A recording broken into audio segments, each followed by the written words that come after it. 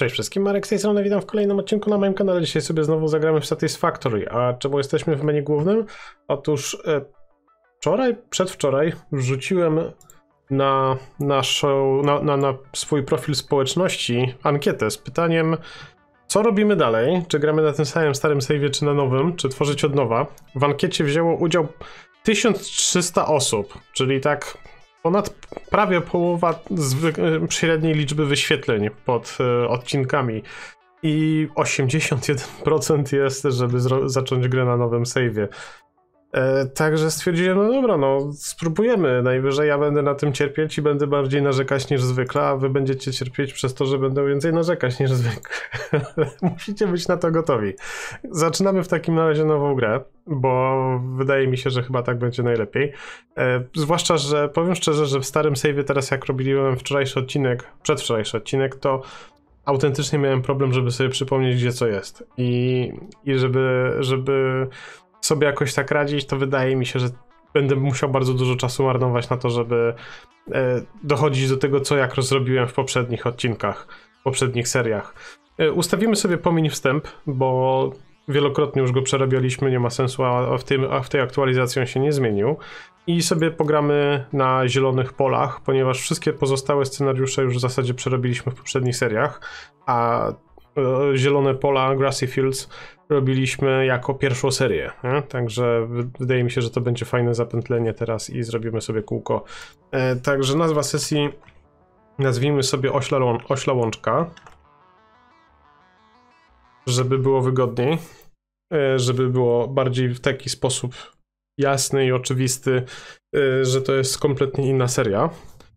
I zaczynamy grę w takim razie.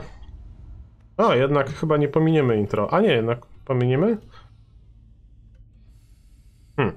A dobra, widzę, że ten filmik chyba się przewinął tylko. Dobra, czy my możemy tutaj sobie kliknąć przycisk?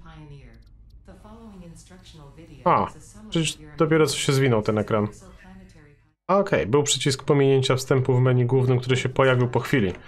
Dobra, cicho, cicho, cicho, cicho. e... O, dobra. Okej, skasowano. E, zastanawiam się, gdzie zrobić sobie tym razem bazę. Cicho. Dobra. Podobno w ogóle w ostatniej aktualizacji powiedzieli, że w dźwiękach możemy sobie. A rzeczywiście, możemy sobie rozwinąć. Patrzcie, mamy głośność na wszystkie rzeczy osobno uregulowaną. Bardzo fajna sprawa. Podoba mi się to, bo na przykład moim zdaniem pociągi są za głośne, a wiele rzeczy jest za ciche. I dzięki temu można sobie to podregulować, chociaż nie widzę tutaj osobno pociągów. Dobra, włącz napisy kierunkowe, wyłącz pogłos, głośność dialogów. O, dobra, bo Aśka e, strasznie głośno gada i tak będzie zdecydowanie lepiej, on- nie będę musiał się denerwować tym, że ona się odzywa co chwilę. E, dobra, e, co? Użyj O, żeby otworzyć kodeks. Aha, okej. Wszystkie samouczki, czyli musimy... Dobra, dobra. Tab, żeby otworzyć ekwipunek. Niestety muszę przejść cały ten proces e, e, tutoriala, żeby móc e, zacząć grać.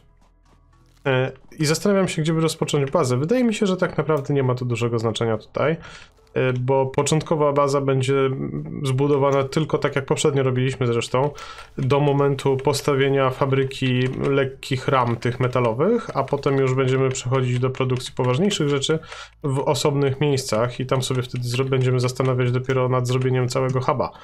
E, Więc E, więc tutaj zrobimy sobie początkową bazę. Chcę ominąć tego wieprza, bo nie chcę z nim walczyć na razie. E, Im mniej walki w tym momencie, tym lepiej dla nas to będzie.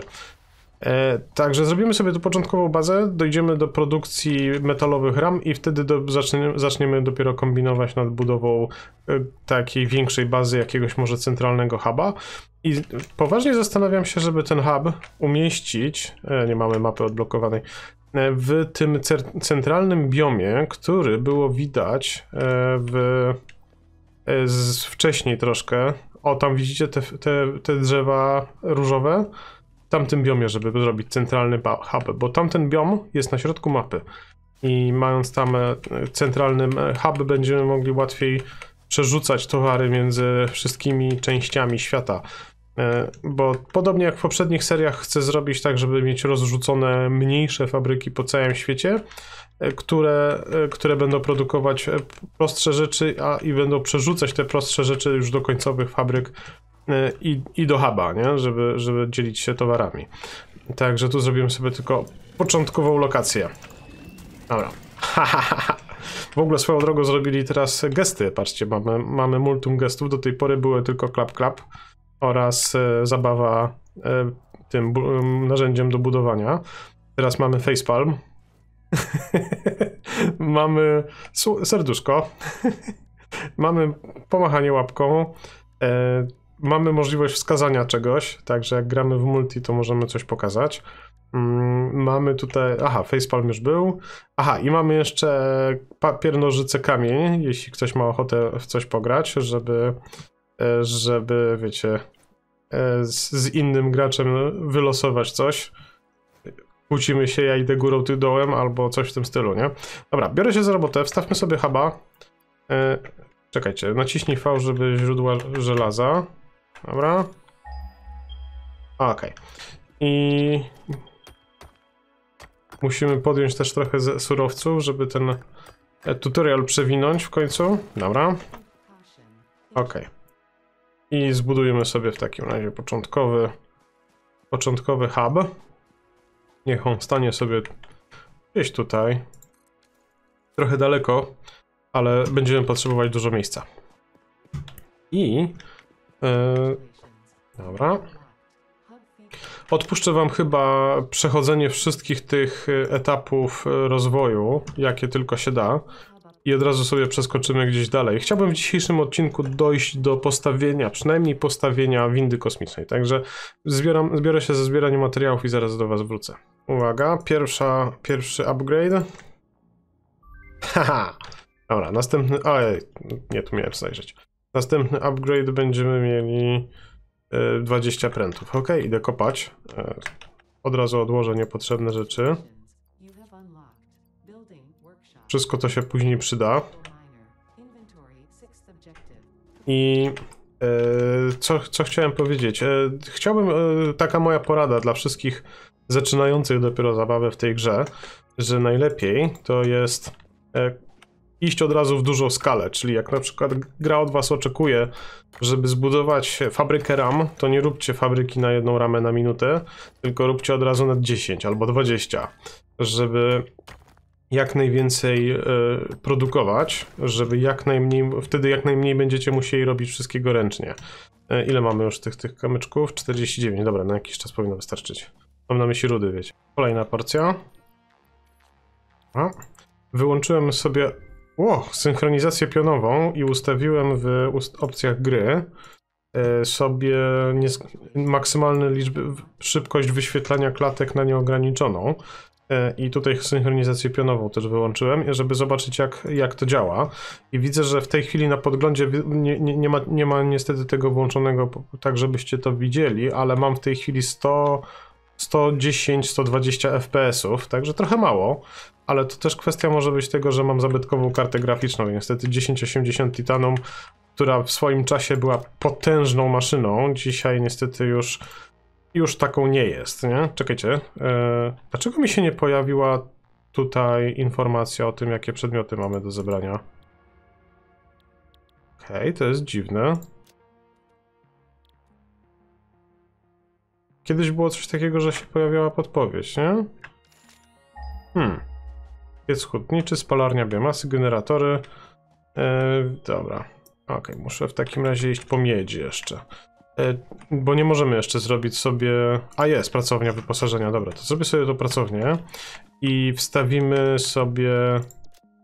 Zrobię od razu górników. Będziemy potrzebowali te maszynki do kopania i od razu zrobię ich jakieś duże ilości. Tylko one chyba potrzebują miedzi. Nie, nie potrzebują miedzi. Bardzo dobrze.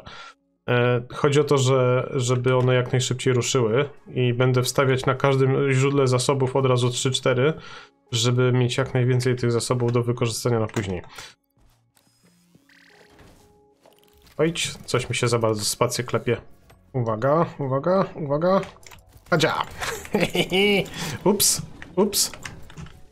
Gdzie jesteś, małpo? Gdzie ty jesteś, potworze jeden wstępny? No. Okej, od razu lepiej. Jak się trochę zwolniła przestrzeń.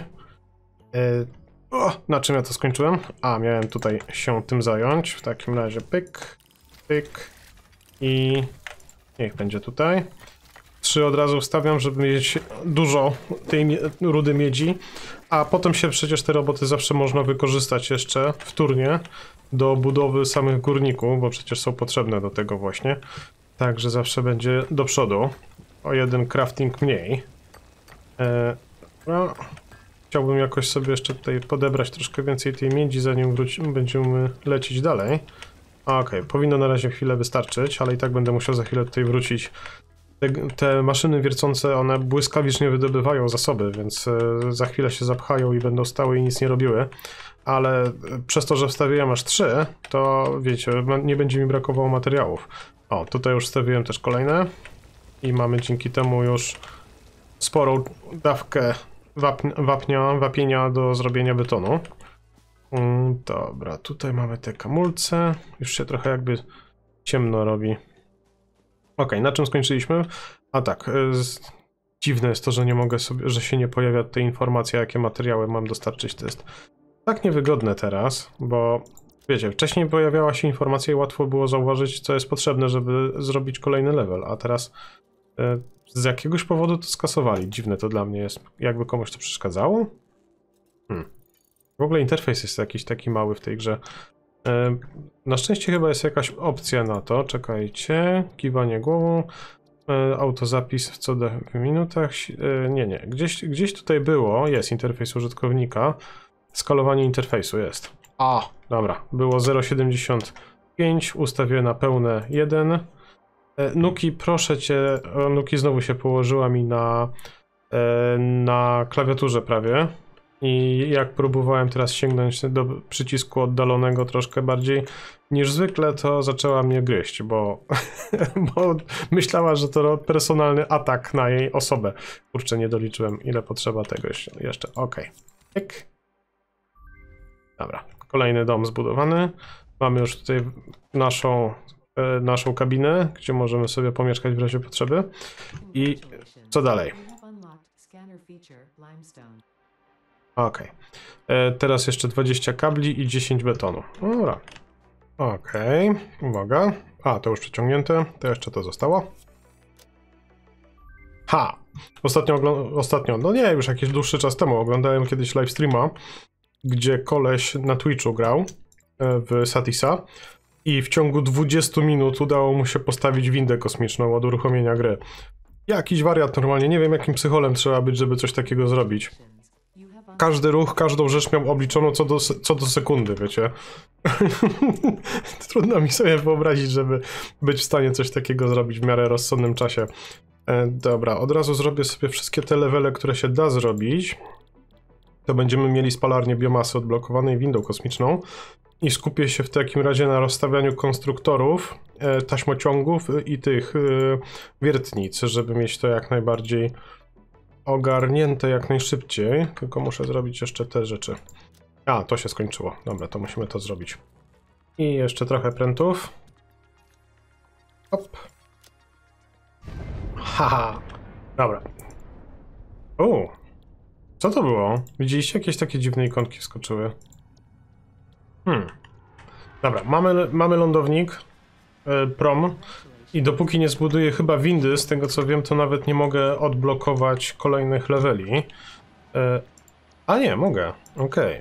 Najbardziej by mi zależało na tym, bo mogąc rozwidlać, e, mamy, wiecie, tutaj te łączniki, nie? I to, to się nam bardzo przyda. No i oczywiście dodatkowe, dodatkowe miejsce w plecaku, także idę jeszcze pokopać. I zaraz będziemy rozstawiać fabrykę, jak tylko będę miał z, czego jej ją zbudować. E, Tylko muszę jeszcze sobie materiały wyprodukować. Ja nie mogę. Godzinę już trwa ten odcinek. Jak znaczy godzinę już nagrywam, czy półtorej nawet. E, I jeszcze nic nie zrobiłem. Przy tych 20 minutach, co tam ten typek zrobił, co mówiłem wcześniej, to chyba robi wrażenie. jak dobrze mu to idzie. Ale z drugiej strony to tak w tej grze zawsze jest, nie? że początki są zawsze bardzo, bardzo powolne, bardzo powolne w tego typu grach, właściwie wszystkich, bo w Factory i podobnych też jest tak. A potem, a potem mamy takie ilości materiałów, że w zasadzie ta gra zamienia się bardziej w tryb kreatywny niż survivalowy, tak jak to na początku było. Okej, odblokujmy kolejną technologię. I mamy już wszystko, co potrzeba. Mogę się w końcu brać za rozbudowę fabryki faktycznej. Nie mam niestety przy sobie szczególnie dużo materiałów, e, co mnie trochę martwi, ale jakoś sobie damy z tym radę. E, Mamy piec hutniczy, mamy wiertnicę, mamy konstruktory, także można ruszać z rozstawianiem sprzętu. E, Troszkę udało mi się zebrać liści, biegając w to i z powrotem tutaj po okolicy, więc odrobinkę paliwa mamy na początek, ale nie jest to szczególnie dużo. E, Ile mamy materiałów na konstruktory? Na 8. Ok, to zawsze coś. Stawmy w takim razie tu na żelazne płyty, na dwa napręty i będziemy potrzebowali jeszcze ze dwa na śruby. Tak mi się wydaje. Eee, widzę, że menu pod tym jest troszkę nieaktualne.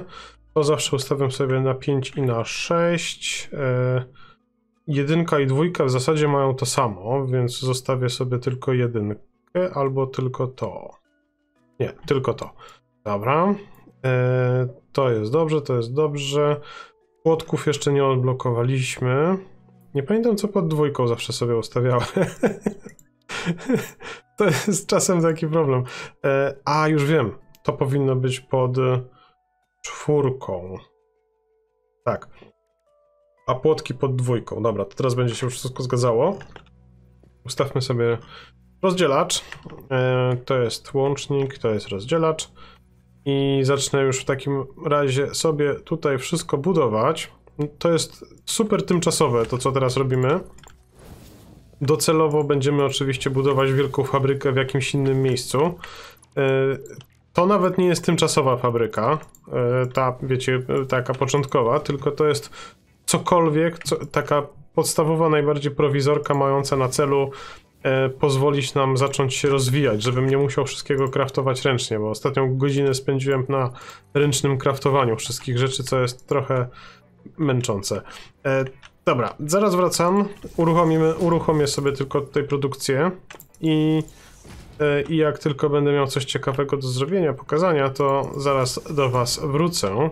Muszę to samo, taką samą produkcję też rozstawić przy produkcji wapienia i miedzi, żebyśmy mieli wszystkich materiałów pod dostatkiem. Dobra, tak, i to można by wpiąć tutaj, a to jakoś tam. I też zawsze robię tak, że tutaj podłączam sobie kilka prętów, słupów, żeby te, te maszyny miały osobne, osobny słup tylko, tylko, do nich. Dobra, i, i, i, i tak, i drewno, i byśmy odłożyli coś? Nie. Czy możemy robić już jakąś biomasę? Możemy. Nigdy nie marnujcie materiałów na produkcję, e, na produkcję elektryczności za pomocą surowego drewna albo surowych liści. Zawsze ró- róbcie biomasę, a jak tylko będzie to możliwe, od razu przerabiajcie na biopaliwo, bo im bardziej zaawansowany jest ten materiał, tym dłużej on może pracować. I to jest duża zaleta, jeżeli możecie tej biomasy wykorzystać sobie więcej. E, Okej. I. Okej, ruszyło. Dobra. Idę rozstawić w takim razie jeszcze produkcję przy kolejnych miejscach. Coś tutaj pobłyskuje, tak jakby dało się podnieść, ale nie wiem co. Strasznie to jest dziwne, że zobaczcie, słońce jest stosunkowo jeszcze wysoko nad ziemią. Jest strasznie ciemno. Nie wiem, czy, czy wy też to tak odbieracie. Podejrzewam, że kompresja YouTube'a jak zwykle mocno przyciemni widok, więc u was to w ogóle będzie super ciemno. U mnie jest ciemniej niż zwykle o tej porze dnia. E, czy da się jakoś rozjaśnić tą grę? Czy kiedyś, kiedyś w grach było coś takiego jak gamma? A jest gamma. Aha, dobra, wrócił lądownik. Pod, podjaśniłem gammę, ale powiem szczerze, że wszystko oprócz tego, że zrobiło się ciutkę jaśniejsze, to też tylko bardziej rozbielone jest, także nie mogę powiedzieć, żeby to była jakaś kolosalna różnica na korzyść, raczej, raczej nie. E, dobra, i pyk, pyk i coś krzywo mi się to wstawiło, trudno. Chodzi o to, żeby ruszyła już produkcja tylko. No, no, o, idealnie. Idealnie. Teraz jeszcze. Dobra, muszę wszystko przestawić. Ale ze mnie bętwała, wy nic nie mówicie. Kurczę, no, co za, co za z was widownia, że wstawiłem konstruktory bez chłód. O kurde, dobre to było. prawie, pr- ale to takie w stylu mnie bardzo jest. Ale z drugiej strony, która jest godzina? Jest 6.27, więc troszkę, troszkę jestem zmęczony. E, Pospałem sobie ociupinkę wieczorem. Położyłem się dzisiaj koło 19 na chwilę, żeby, żeby pooglądać telewizję i zasnąłem oczywiście. I się obudziłem koło drugiej. I, I się chwilę jeszcze posiedziałem i się wziąłem za robotę za, e, YouTube'ową. Także powiedzmy, że nie jestem pierwszej świeżości, jeśli chodzi o moje, mój stan psychiczny. Mam nadzieję, że w końcu mi się kiedyś uda uregulować ten tryb życia, bo jest trochę, trochę makabrycznie. E, dobra, ile to potrzebuję? 30 na minutę. Ten chyba produkuje 60 na minutę, tak, także możemy sobie to podzielić. Eee, bez takich. Tylko żadnych, żadnej krzywej roboty. Dobra, i... A, coś, coś mi się źle dzisiaj klika. No, w końcu, w końcu nie będę musiał ręcznie wszystkiego robić. Mamy już praktycznie zautomatyzowaną produkcję. Teraz jeszcze tylko trzeba wszystko ładnie podłączać. I nie będę musiał już e, robić wszystkiego w workbenchu. Wreszcie będę mógł się zająć poważniejszymi problemami. Idealnie. Teraz jeszcze muszę zrobić miedź i wapień. Tam już jeden wapień robi, ale to jest trochę mało, potrzebujemy więcej. Hop. I tu jest kolejny, jak widzicie, ujęcie wapnia. Hmm, czy mam przy sobie jakieś kupaczy? Mam. E, broń, szybko. Cześć wieprzu. Okej. Na, na nich jest taktyka. Jak widzicie, oni, oni lubią tak do, dookoła gracza biec i łatwo jest przewidzieć ich ruch wtedy i można tak się ustawić, żeby łatwiej było trafić. Dobra, zrobię tutaj teraz kolejne ujęcie wapnia, bo będziemy potrzebowali od groma fundamentów, żeby, żeby zrobić sobie kilka pięterek tutaj tej bazy. Mm, nie, ten, nie ten przycisk, ten przycisk. Dobra, i będziemy potrzebowali chyba więcej elektrowni, także będę musiał zaraz pobiegać po okolicy i pozbierać jeszcze więcej trawy, a właściwie liści, bo zaraz mi się pewnie paliwo skończy. E, dobra, e, konstruktor jeden, drugi, trzeci. Tutaj wystarczą trzy, bo to złoże jest ubogie, więc ono nie jest na tyle bogate, żeby był sens w ogóle wstawiać więcej. Ok, jak mamy taką sytuację, to ja robię coś takiego i wtedy tutaj rozdzielacz daję. Idealnie, hop. Oż kurczę. Się mysz prześliznęła. Dobra. I hop. I to tutaj. A to e, gdzieś tam. Teraz e, bardzo miło, ponieważ autozapisy przy tym, na tym nowym świeżutkim save'ie trwają sekundę albo mniej. Często nawet gra jeszcze nie zdąży przyciąć. O, widzieliście, ledwie, ledwie delikatnie przycięło tylko. Także jest to duży komfort, bo wcześniej jak widziałem autosave, to stwierdzałem, ok, dobra, to zrobię sobie przerwę, pój- zaraz wracam. A teraz, teraz ułamki sekund, ale no niestety tylko popracuję trochę tutaj i zbuduję znowu dużą bazę, to niestety problem wróci. E, dobra, tutaj mamy... A, tam nie ustawiłem jeszcze, co mają produkować te konstruktory. Ok, to zaraz się tym zajmę.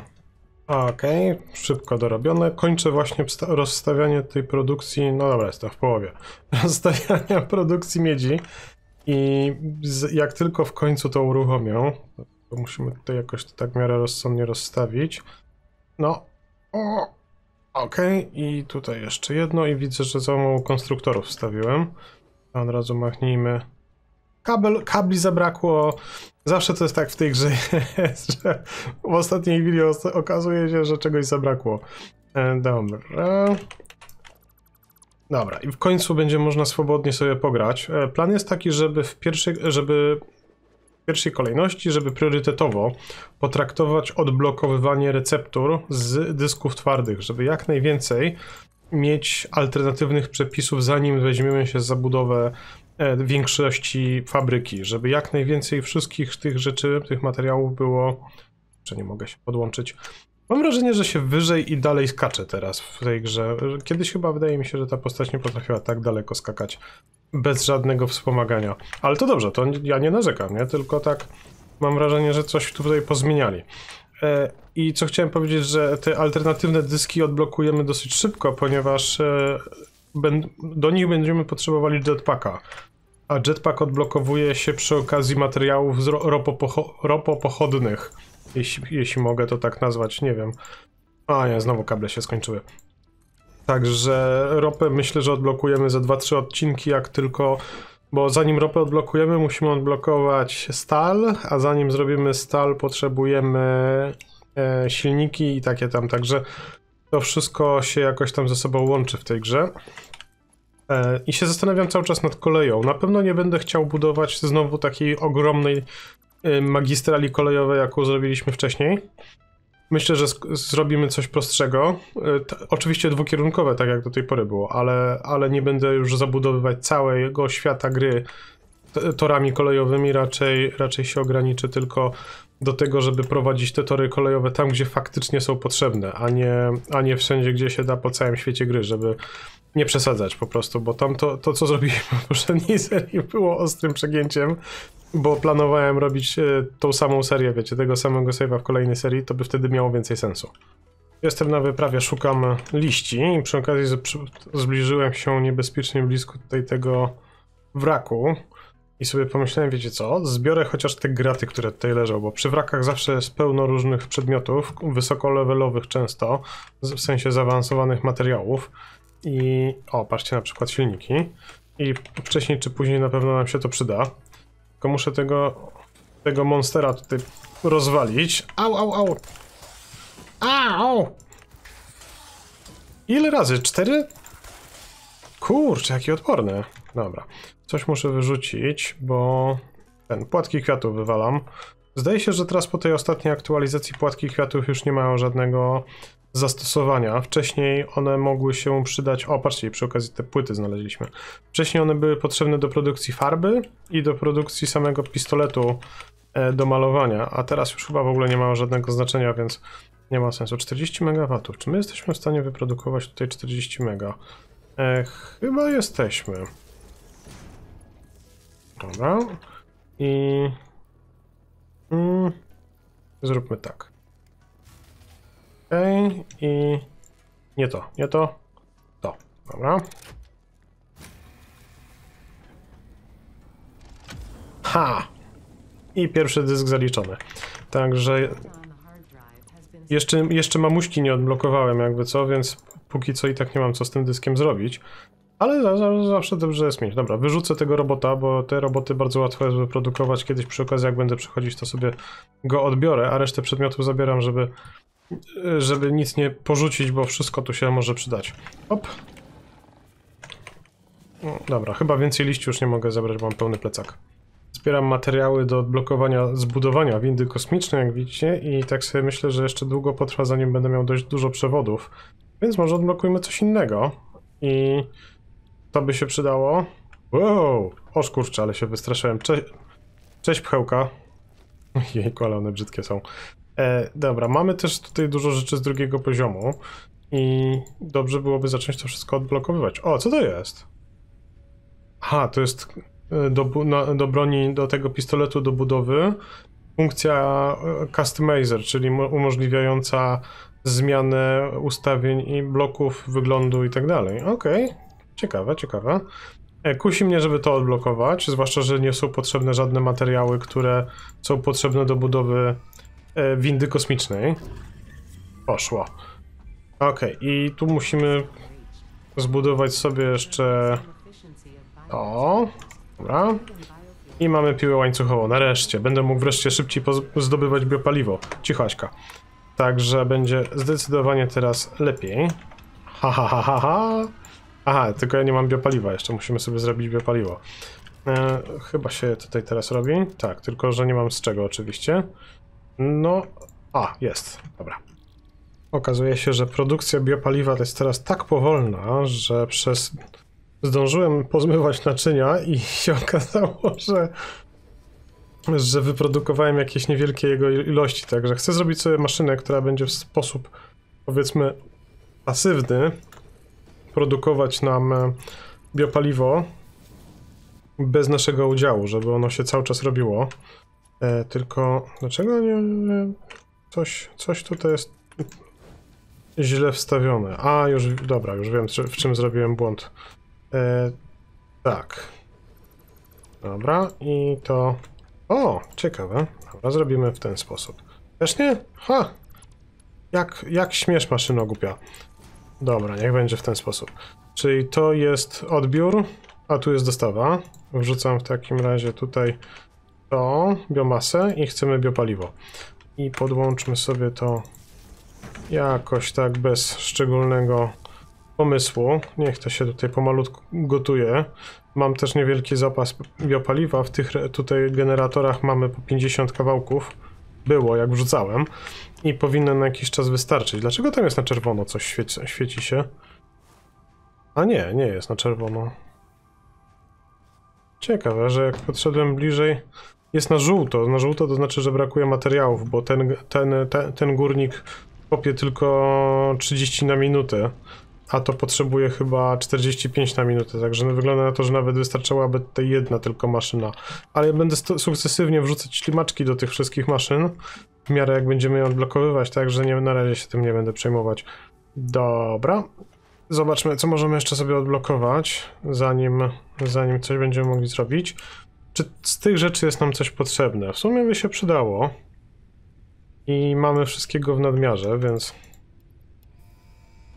O, i nadal możemy windę kosmiczną zrobić, a już możemy budować fundamenty, które nam się bardzo przydadzą, bo... E, bo będzie można w końcu zacząć budować jakieś takie prawdziwe, prawdziwe pomieszczenia, które mogą nam się przydać do, cze- wcześniej czy później, nie? Ale to jest wygodne z tym, z tym zupem przy budowaniu. Okej, brakuje tylko już 150 kabli, ale odblokowałbym sobie to, wiecie, bo to by nam się bardzo przydało. E, chociaż tutaj, albo dobra, bi- biorę to i potem e, i, i wykopię sobie ręcznie jeszcze trochę miedzi, żeby nadrobić te, to, co stres zmarnowałem w tym momencie. O, widzicie, dodatkowe okienko się pojawiło. Super. Dobra. Jest, mamy już potrzebną ilość materiałów. Budujemy w takim razie sobie windę kosmiczną. Cieszę się, że udało się ten cel osiągnąć w tym odcinku. W następnym będziemy się brać za kolejne technologie, których dużo nam zostało jeszcze do odblokowania. Okej, 50 tych płyt będziemy musieli wyprodukować. Nie jest to proste. Na początku gry zwłaszcza, ale myślę, że sobie damy radę. Nigdy mi się nie znudzi ta animacja. Z, jeszcze z tą syreną. Fajnie wyglądają te łapy, tak. Mi się wydaje, czy je naprawili, bo chyba kiedyś te naciągające taśmy, czy jak to nazwać, one kiedyś były zbagowane i się wyświetlały odwrotnie bokiem. Dziwne. A, patrzcie, tam w powietrzu wisi nasza rakieta. Ciekawe. Dobra, okej. Okej, dobra, będę kończyć na tym dzisiejszy odcinek. Mam nadzieję, że się podobało. Spodziewam się, że zrobimy spokojnie 30-40 odcinków z tej serii. Mam nadzieję, że w tej serii uda mi się w końcu odblokować e, wszystkie rzeczy, które są w sklepiku. W tej, w, tej, w tej pierwszej i poprzedniej nie udało się niestety tego celu osiągnąć, a szkoda. E, ponieważ nie zrobiłem dostatecznie dużej produkcji, wydaje mi się. Zobaczymy, może uda się w tej serii to osiągnąć. Dobra, to tyle na dzisiaj. Bardzo dziękuję za Waszą uwagę. Pamiętajcie łapkę w górę i do zobaczenia, do usłyszenia w kolejnych odcinkach już niedługo. Dzięki wielkie, cześć.